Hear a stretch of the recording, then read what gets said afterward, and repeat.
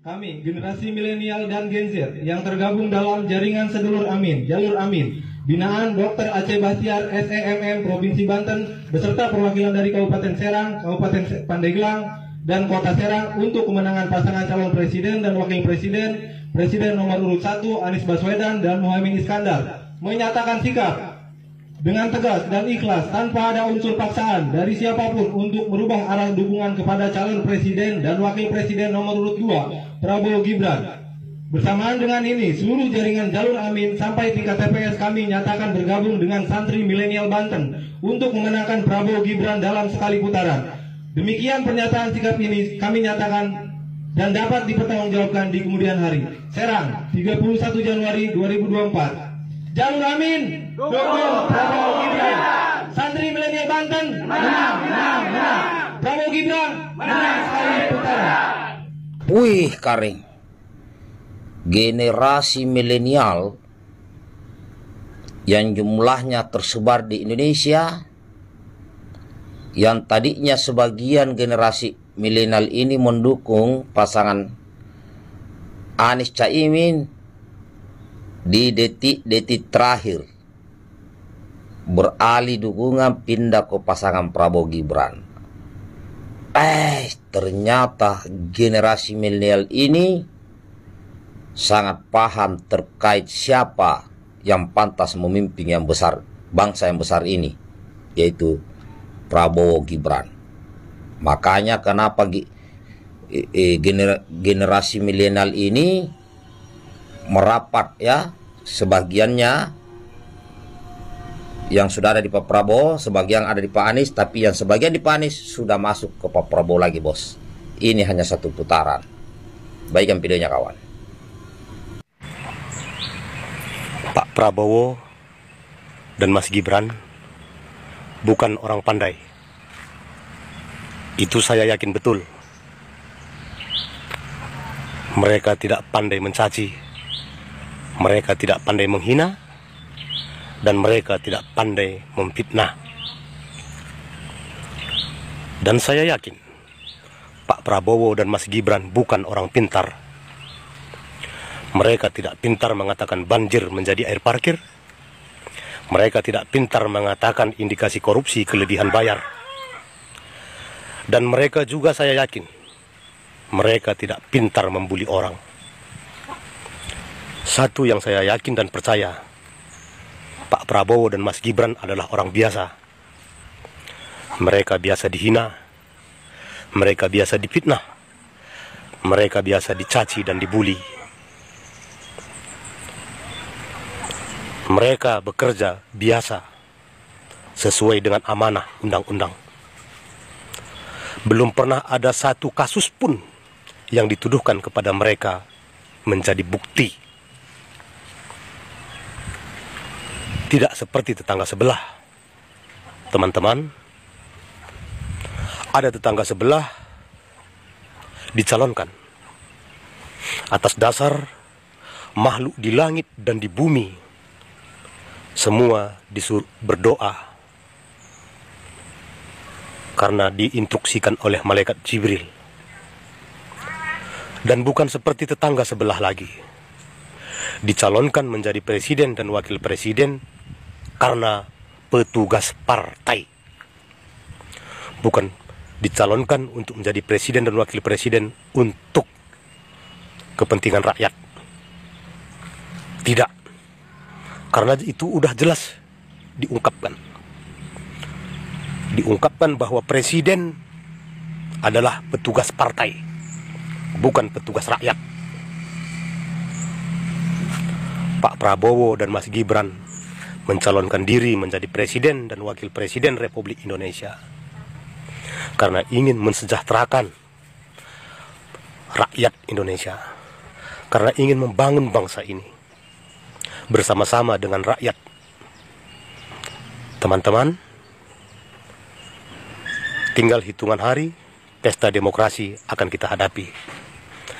Apakah kita mau dipimpin oleh orang pandai dan pintar yang langsung direstui malaikat Jibril atau dipimpin oleh orang yang menjadi petugas partai dan keturunan Nabi Hidir atau dipimpin oleh orang biasa.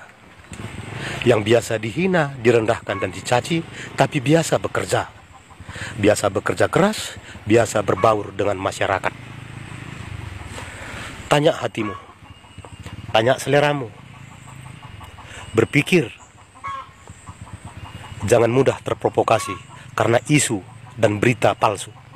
Buat abang ini, saya nggak tahu abang ini punya masalah apa. Ayolah kita berpikir untuk Indonesia maju bang. Kita jangan sampai memilih presiden yang tidak akan melanjutkan IKN. Presiden yang tidak akan melanjutkan hilirisasi. Itu sama saja seperti antek asing yang mau menghancurkan negara kita. Karena dengan adanya hilirisasi, Indonesia kemungkinan besar dapat menjadi negara yang maju pada tahun 2045. Tapi calonmu itu Paslon 01 hanya pintar ngomong, pintar berdiskusi, tapi nggak pernah eksekusi. Tidak akan melanjutkan yang namanya hilirisasi. Di situ sangat jelas siapa yang benar-benar memperjuangkan Indonesia untuk Indonesia maju dan siapa yang hanya ingin kekuasaan. Ayolah bang, berpikir yang cerdas. Gimana caranya Indonesia bisa maju disegani di seluruh dunia? Saya yakin di belakang paslon 01 ada negara-negara luar yang membentengi, yang ingin Indonesia membatalkan hilirisasi. Amerika bersekutu dengan Australia. Tahukah kamu, Australia menggugat Indonesia ke WTO karena melakukan hilirisasi nikel. Berapa keuntungan yang didapat Indonesia jika hilirisasi ini terus dilanjutkan? Berapa tenaga kerja Indonesia yang bisa diserap oleh hilirisasi tersebut? Ayo bang, kita berpikir untuk Indonesia ke depan. Bukan hanya pandai ngomong berdiskusi ke sana kemari menjual agama. Berbagai cara dilakukan oleh Amerika dan Australia untuk menghancurkan negara Indonesia dengan cara memilihkan pemimpin yang bisa takluk, bisa didekte oleh negara-negara tersebut. Prabowo tidak akan pernah takut, akan melawan, terus melanjutkan hilirisasi gas Prabowo gitu. Caimin rakyat berideologi NU pasti pilih Amin. Eh mana bisa? Justru saya meragukan ke NU-an orang yang memilih Amin itu. Karena dasar-dasar rakyat NU memilih calon pemimpin itu yang pertama satu kiblat, satu umat Nabi Muhammad, ya kan? Yang kedua itu amanah. Apakah Anies Baswedan itu amanah di Jakarta? Hmm, enggak. Siapa yang bilang Anies Baswedan itu amanah di Jakarta? Coba saya pengen tahu orang yang bilang Anies Baswedan itu amanah di Jakarta. Nggak amanah dia itu orangnya. Nih kan? Janji tidak akan menggusur. Ujung-ujungnya dia menggusur. Apakah itu yang disebut amanah? Siapa yang bilang amanah ketik di kolom komentar itu. Jadi jangan bawa-bawa NU. Rakyat NU itu cerdas. Contoh seperti Pak Prabowo. Berbuat dulu biarkan publik yang menilai. Ya kan? Dia menolong TKI Yordania. TKW yang kena hukuman mati. Membantu Palestina. Berbuat dulu biarkan publik yang menilai. Bukannya akan bila saya menang saya akan ini, akan itu, akan ini. Alah, di Jakarta aja nggak amanah, gimana mau jadi presiden? Tuh. NU jelas-jelas memilih Prabowo Gibran yang amanah. Tulis di kolom komentar kalau memang Anies itu amanah. Apakah janji tidak akan menggusur ujung-ujungnya menggusur? Apakah begitu yang disebut amanah? Jadi jangan suka memutarbalikan ini fakta. Oke, cek di Google, cek rekam jejak NKRI harga milih presiden sapa Sam?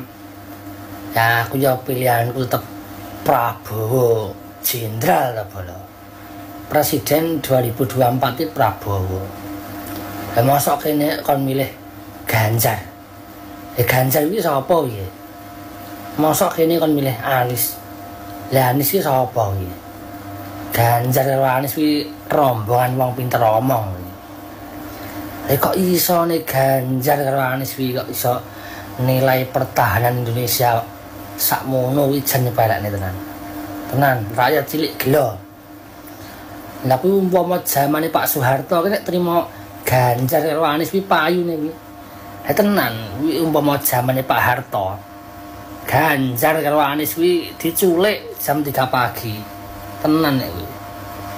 Eh jan gelo aku.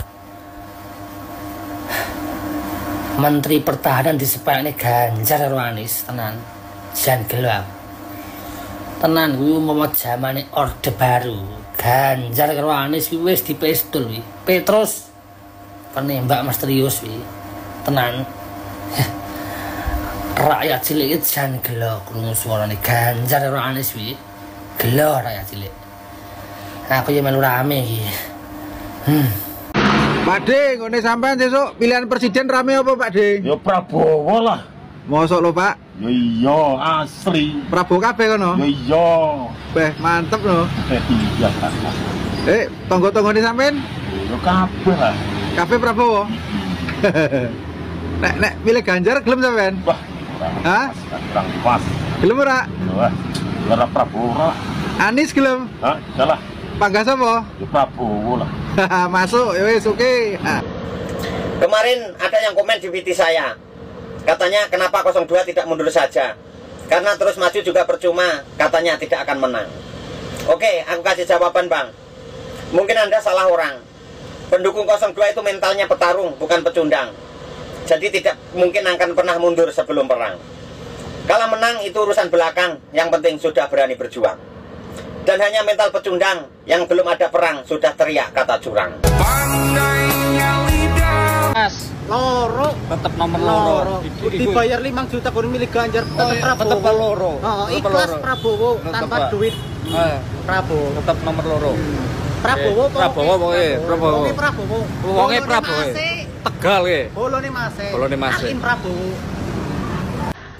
Pak Prabowo, tolong dong mikir Pak, mikir, Anda itu mikir. Jangan kayak gitu Pak, jangan seenak hati Bapak. Bapak itu ngasih bantuan ke sana, ke sini, ke sana, ke sini. Jadinya Bapak banyak difitnah orang Pak, banyak dijelek-jelekin orang. Padahal Bapak nggak berharap pujian, nggak berharap ini, itu. Makanya Pak, pikir Pak.